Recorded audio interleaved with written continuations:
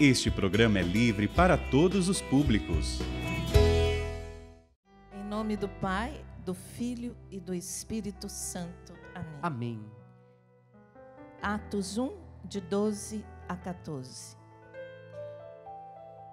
Então os apóstolos deixaram o Monte das Oliveiras e voltaram para Jerusalém, a distância que se pode andar num dia de sábado entraram na cidade e subiram para a sala de cima, o andar de cima, onde costumavam ficar. Eram Pedro e João, Tiago e André, Filipe e Tomé, Bartolomeu e Mateus, Tiago, filho de Alfeu, Simão Zelota e Judas, filho de Tiago. Todos eles perseveravam na oração em comum, junto com algumas mulheres, entre elas Maria, a mãe de Jesus, e com os irmãos dele. Nesta palavra, nós vemos os apóstolos indo para o lugar que eles costumavam se reunir para rezar, para esperar a promessa divina, a promessa de Deus a vinda do Espírito Santo. E me chamou muito a atenção que eles permaneciam em oração no andar de cima. Era no andar de cima onde tudo acontecia. As maravilhas de Deus. Pentecostes aconteceu no andar de cima, onde eles se reuniam foi no andar de cima, na sala de cima, onde eles esperavam as promessas de Deus, a promessa de Deus se cumprir. Aí eu pensei assim: Senhor, eu preciso permanecer no andar de cima, nesse lugar de intimidade, nesse lugar de comunhão, para esperar a promessa de Deus, as promessas de Deus, as infinitas promessas de Deus acontecerem em minha vida. Assim também na sua vida. Muitas pessoas têm impaciência em esperar a promessa de Deus se cumprir. E saem do andar de cima, desse lugar de comunhão, e vão para o raso, para o baixo, para as regiões baixas, onde está o pecado, e se entregam ao pecado pelo desânimo em esperar as promessas de Deus. Se entregam às lamentações, às murmurações, descem do andar de cima desse lugar de intimidade para viver na exterioridade, na superficialidade. E daí desanima, porque não tem jeito, minha gente. Nós somos atingidos de todos os lados por um mundo espiritual que nós não vemos. Potestades, como diz a palavra de Deus, e principados infernais que nos atacam a todo instante, na mente, nos pensamentos, na saúde, para nos tirar da linha de frente onde nós devemos estar. Para tirar você da linha de frente da sua família, para que você pare de orar, para que você pare de seguir Jesus, para que você desanime diante dos desafios e das adversidades.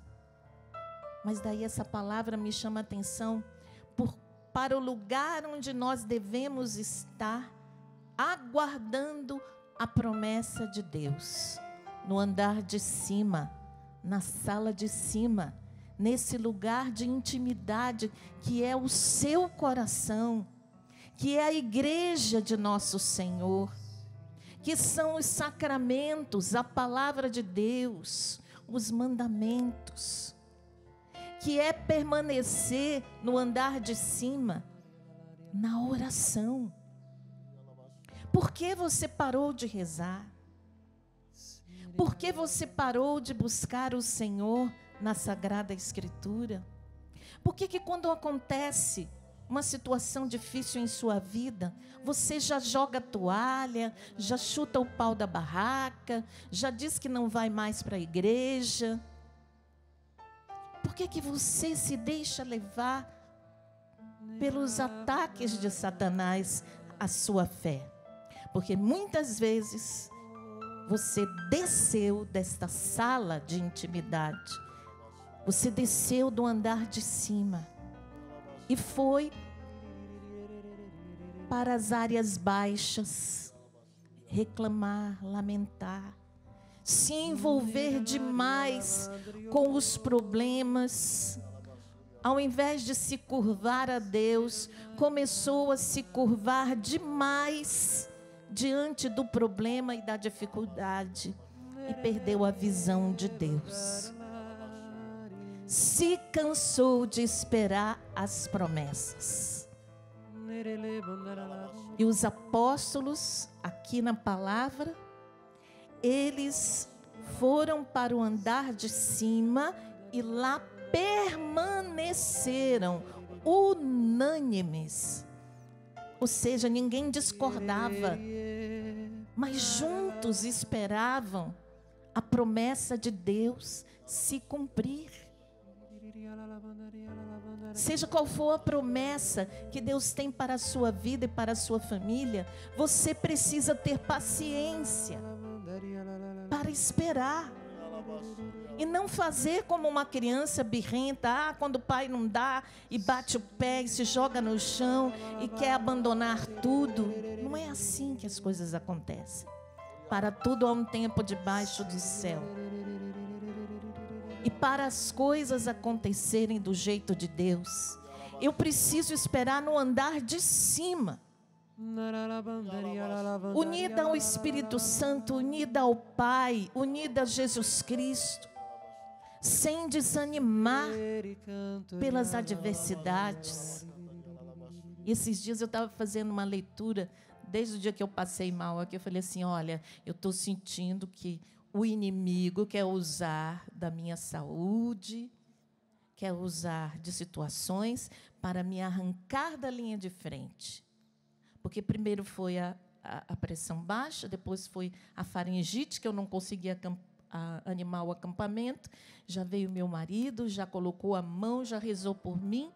E logo depois eu, já veio a luz, eu fui medicada, tomei o remédio, estou melhor, graças a Deus. Estou aqui, senão não teria condições de vir.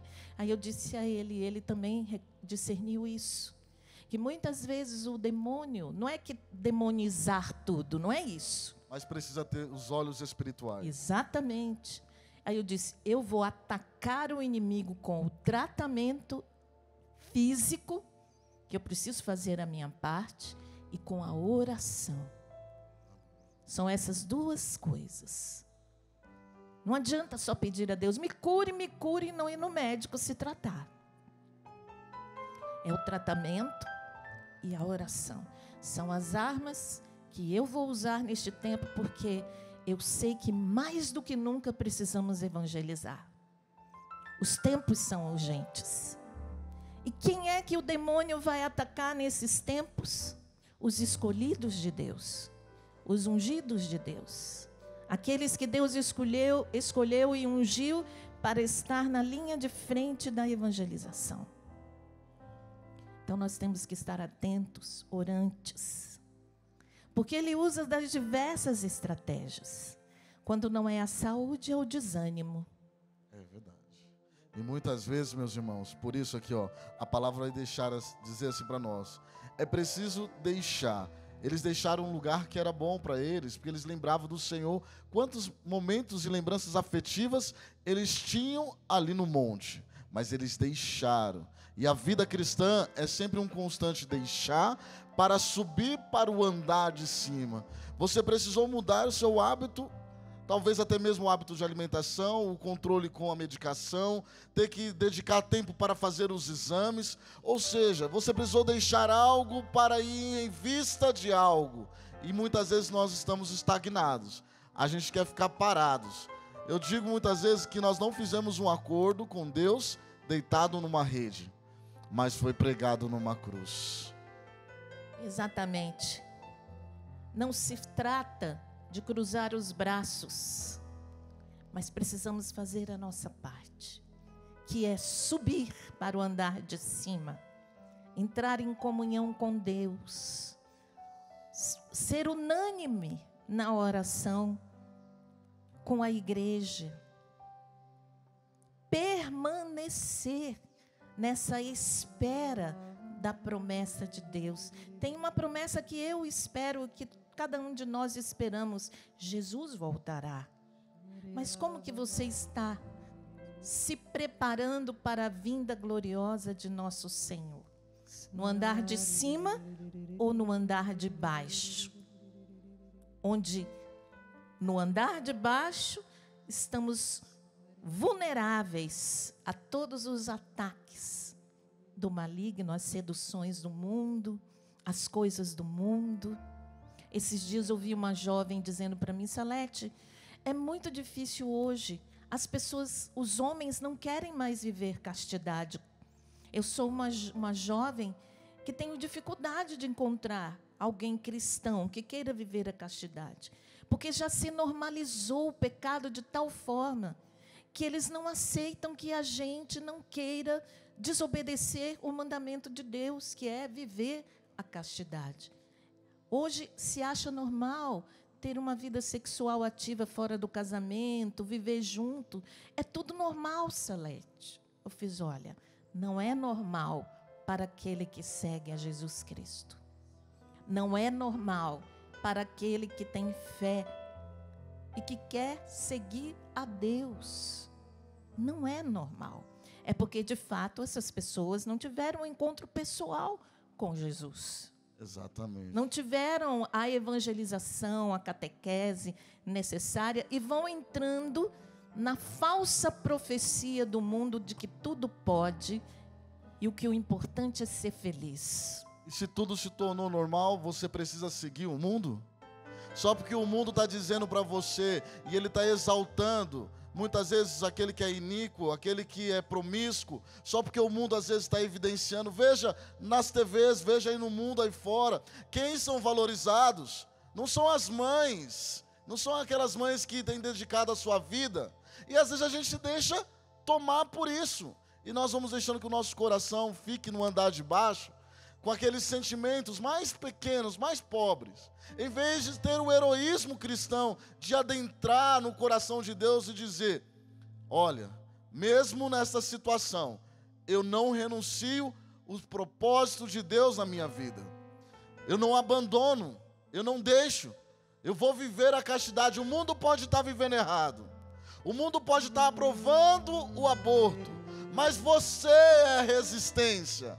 Você é que fez a experiência de subir no andar de cima e permanecer no andar de cima. Não queira voltar para a vida velha, não queira descer novamente por causa de afetos, sentimentos, situações. Não permita. E veja que lindo, no finalzinho, Nossa Senhora também, junto com os apóstolos, esperava a promessa da vinda do Espírito Santo, porque aqui foi bem antes de Pentecostes. Ela esperava com eles a promessa de Deus acontecer.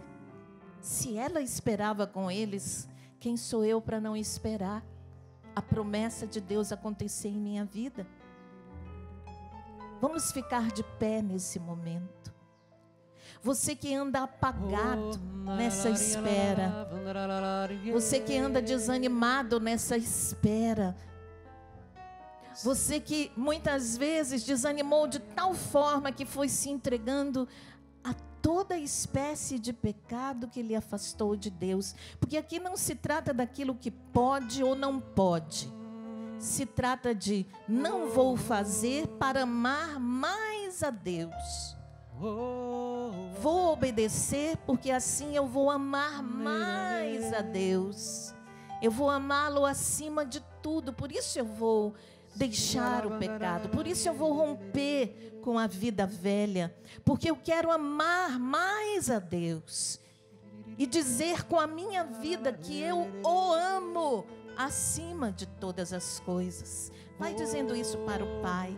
Eu quero te amar mais. Eu quero te amar mais. Por isso eu quero agora, Senhor. Por isso eu quero agora, Senhor, subir, subir, entrar neste andar de cima, entrar neste andar de cima, para experimentar a tua glória, para experimentar a tua glória, para experimentar o poder do teu Espírito Santo, para experimentar o poder do teu Espírito Santo, para ver as promessas de Deus acontecerem em minha vida, para ver as promessas de Deus acontecerem em minha vida junto com Maria, junto com Maria, a mãe de Jesus, a mãe de Jesus. Eu me coloco em oração. Eu me coloco em oração. Eu me coloco unânime unanimemente na oração. Eu me coloco unanimemente na oração. Com os meus irmãos que aqui estão. Com os meus irmãos que aqui estão. E quero permanecer, Senhor. E quero permanecer, na Senhor, tua presença. Na tua presença. Sem desanimar. Sem desanimar. Sem reclamar. Sem reclamar. Dos desafios. Dos desafios. Dos problemas. Dos problemas. Das dores e dificuldades. Das dores e dificuldades. Mas eu quero me manter em pé, Senhor. Mas eu quero me manter em pé, Senhor. Senhor. Por isso sustenta-nos. Por isso sustenta-nos. Com teu Espírito Santo. Com o teu Espírito Derrama Santo. o teu Espírito Derrama Santo. o teu Espírito Vamos Santo. pedindo o Espírito Vem, Santo. Espírito Santo de Deus.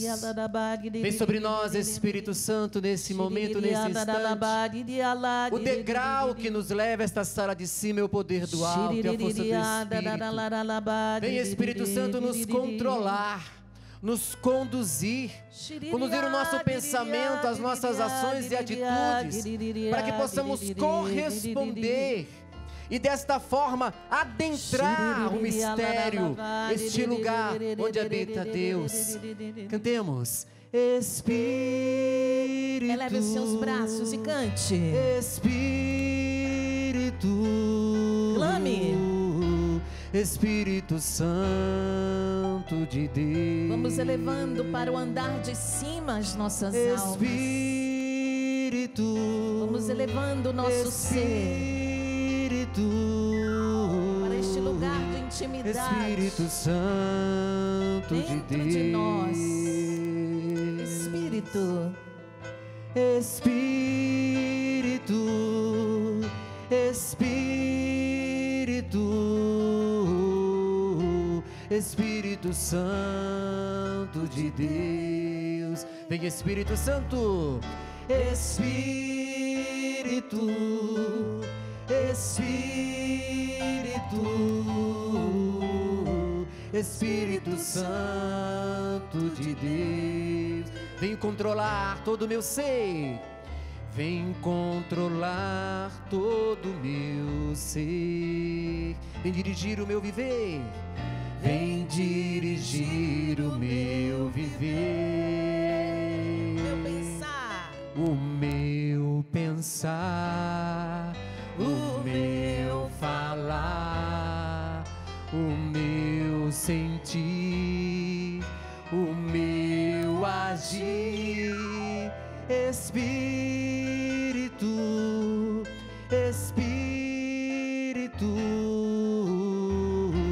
Espírito, Santo de Deus, Espírito, Espírito,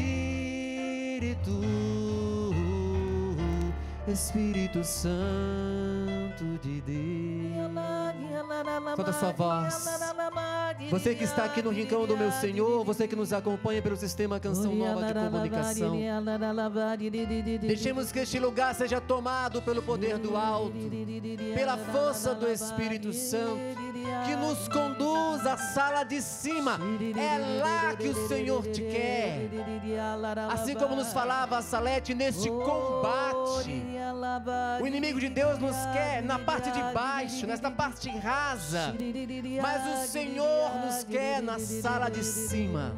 Vem Espírito Santo, ajuda-nos, auxilia-nos, nos dando a inteligência, a sabedoria no pensar, no falar, no sentir, no agir, para que lá possamos habitar. Porque Jesus, Ele está à nossa frente e quer nos conduzir e quer estar conosco neste momento.